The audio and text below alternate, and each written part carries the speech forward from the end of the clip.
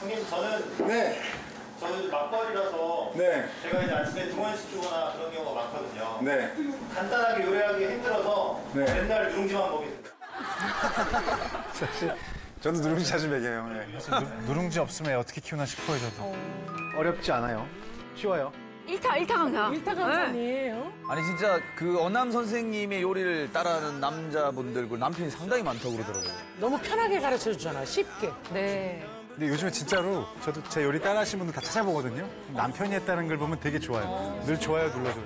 저도 해시태그로 되게 많이 봤어요. 해시태그로 엄청 많이 봤어요. 제 SNS에도 올렸어요. 그러니까 감사합니다. 좋은 영향력이다. 음. 간단하게 요리하기 힘들어서 네. 맨날 누룽지만 먹게 됩니다. 네, 저는 뭐 하냐면 볶음밥 많이 해요. 네, 저는 뭐 하냐면 볶음밥 많이 해요. 아 아빠의 요리 볶음밥. 볶음밥 답이다. 어, 네, 왜냐면 볶음밥. 자취하다 보니까 볶음밥 제일 많이 먹거든요.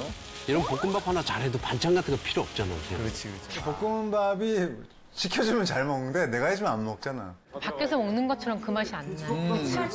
파는 건 사실은 조미료가 들어가요. 그래야 파는 볶음밥 맛이 딱 올라오는데 사실은 MSG가 나쁜 건 아닌데 아이한테 주긴 좀 그래요. 그래서 제가 여러 가지로 하다 보니까 이렇게 하니까 파는 맛이랑 비슷해지더라. 아이도 잘 먹더라. 그거를 만드는 법 알려드릴게요.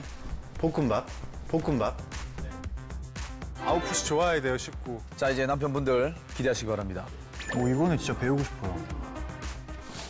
여기다가 뭘 넣어야겠어요? 파는 들어가야 돼. 파. 멸치 액젓 설탕. 요거면 돼요. 진짜요? 오, 진짜요? 그럼 지금 설탕, 멸치 액젓, 파 이거면 끝나는 건가 세 개? 진짜 세상 간단하네. 멸치젓은 잘 안 넣는데. 볶음밥에 멸치 액젓은 오. 아이 있는 집에서는 액젓 쓰시는 것도 여러 가지 기분도 그렇고 미안한 마음도 없고 되게 추천할 만한 액젓 볶음밥이에요. 파는 정말 잘 조사해야 돼요. 파를 못 느낄 만큼. 심이 있잖아요. 여기 이러신 분들. 그게 찝히면 아이들은 아 해로운 거다. 먹으면 안 되는 거다. 라고 느끼는 아이들이 꽤 있으니까 열심히 얇게 쓸어 봅시다. 이게 쓸 때는 아- 늘 얘기해 주는 거 있잖아요. 반 가르고 마치 파채를 만들듯이 다지네요. 양파, 당근 같은 거 너무 물기가 나와서요. 밥이 잘못하면 약간 질척돼요. 파만 넣을 거예요. 파 넣고 기름을 얼마나 두르냐 하면 넉넉하게 두 숟가락 넣는다고 생각하면 돼요. 이따 모질하면 더 넣으면 되니까. 이렇게 익을 때, 자, 불을 줄이고 멸치 액젓 꽉 채워서 멸치액젓 너무 아이디어다. 간장 말고 멸치살을 넣는 게 훨씬 더 맛이 깊어질 수 있다. 그리고 설탕 한 요만큼만. 아하. 액젓과 설탕이 다예요. 이걸로 만드는 거예요. 밥을 넣게 익히지 마. 아, 즉석밥을 전자레인지에 돌리지 말고 그냥 바로요. 밥을 바로 넣으세요. 즉석밥을 데우지 않고 바로 넣는 이유가 있나요? 그래야 뽀개기가 쉬워요. 아, 초보자들 사이에서는 볶음밥을 잘 뽀개는 게 1번이에요. 맞아, 맞아. 허연 덩어리가 없을 때까지만 뽀개면 돼요, 강불에서. 근데 그거를 뜨거운 밥으로, 떡진 밥으로 하면 사실 불가능에 가깝거든요. 자, 이때 나오는 게 바로 국자. 또 잘 이렇게 풀어지면 잘 풀어지고요. 네, 잘 풀어져서. 이렇게 뽀개야 돼요, 다. 자, 기름에 잘 묻어서 밥이 잘 뽀개졌어요. 그 다음에 뭐래요? 스크램블을 해야지. 계란 하나 두세 개싹 풀어가지고. 자, 불을 줄이고 인덕션은 이렇게 하세요. 인덕션은 열원이 가운데 있으니까 이렇게 하시고 나는 화구니까 한쪽으로 몰아. 그리고 불을 이쪽으로 놔. 그럼 이쪽은 타진 않잖아. 가르치는 걸 너무 잘해. 딱 쏙쏙 들어오게. 계란 까고 자, 여기다가 소금을 넣어야 돼요.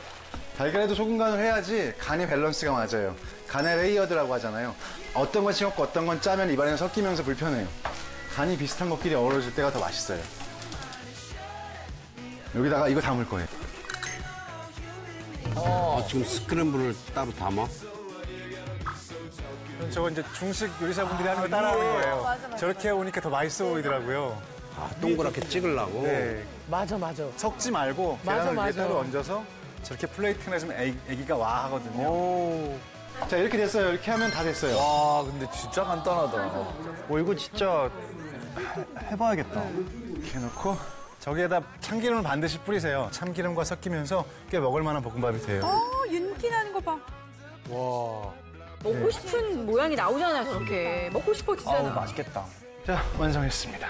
아우 맛있겠다. 여기서 이제 요령이 생기시면 베이컨도 넣고 소세지도 넣고 돼지고기도 넣어보고 이렇게 하면 요리가 막 탄생을 하는 거예요. 기본에서. 이번엔 아, 아직 끝난 게 아니네. 볶음밥에서 가장 맛있는 건? 자, 지금부터 김치볶음밥. 남자! 전화 텐션이 너무 셌어요. 되게 어, 너무 창피해요. 좋은데요? 텐션이 너무 셌어요. 원래 유수영 씨 같아요. 너무 좋아요. 감사합니다. 볶음밥에서 가장 맛있는 건 김치볶음밥. 김치볶음밥. 치키밥. 김치볶음밥. 김치볶음밥을 만드는 방법도 한 20가지가 넘지 않나요? 깍두기나 통깍김치 그것도 맛있죠. 네. 제일 중요한 거. 김치면 그냥 끝나는 거 아닌가요? 와, 밥이 두 그릇이니까 김치도 한 그릇은 넣어야지. 그래서 나는 항상 이걸 두 개를 사가지고 하나 냉장고 쫙 깊이 넣어놔.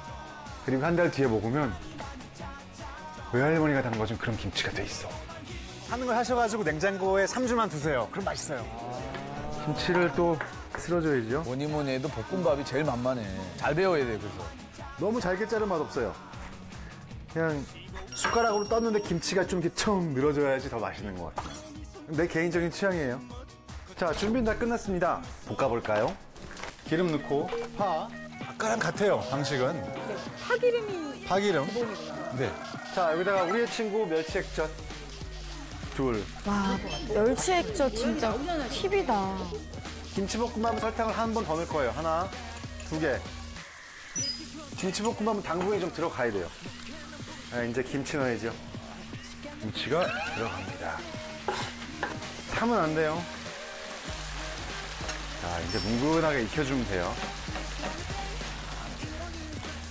센 불에 볶으면 안 돼요. 타요. 진짜요? 나 이때까지 생불에 볶았는데. 설탕도 들어갔기 때문에. 보통 집에서 센 불로 넣고 하시다 태워 먹기 쉬워요. 타니까. 타면 맛이 없으니까. 여기서 이제 자작하게 끓이는 거예요. 시간이 필요해요, 이것도. 이 시간이 되게 중요해요. 너무 맛있겠네요.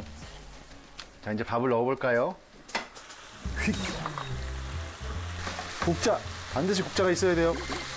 밥 주걱으로 하다간 성격배러예요. 자, 여기다가 늘 전 마지막에 추가하는 게 있어요. 어, 뭐예요? 뭐지? 뭔데? 늘 전 마지막에 추가하는 게 있어요. 김치 국물. 국물? 이거 넣어야 돼. 여기다가 이제 김치 국물을. 사실 이거 많이 넣으면 많이 넣을수록 맛있어요. 김치볶음밥은 막 볶을 필요가 없어요. 그리고 또 이건 눌러 붙은 걸 끓여 먹는 맛이거든. 자, 열어놓고 마지막에. 이런 후라이랑? 아우, 예뻐. 오, 계란 세 개나 넣었어. 우와. 맞아, 다른 후라이팬에 하면 귀찮아. 그냥 이게 나. 이렇게 넣고, 여기다가 김가루 바로 뿌릴까요? 아, 아 진짜 먹고 싶어. 자, 완성됐습니다. 아, 그 채로 먹는구나. 김치볶음밥 덜면 안 돼요. 저기서 숟가락 꽂고 댐겨야죠. 아, 야, 이거 한 끗 차이다, 이거. 대박. 냄새가 기가 막히겠다. 와, 맛있겠다, 이거. 와우. 야 대단하다. 식사하세요.